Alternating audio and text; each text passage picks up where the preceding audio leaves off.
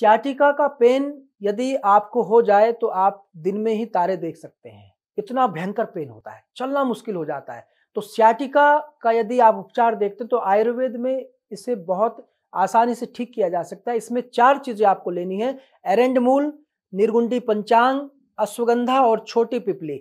इनका आप बराबर मात्रा में लेकर और इसका कूट कर एक औषधि तैयार कर लें। उसका छोटा आधा चम्मच एक गिलास पानी में डालकर आपको काढ़ा बनाना है। इस काढ़े को नियमित रूप से सुबह और शाम, खाना खाने के एक घंटा बाद आप सेवन करेंगे।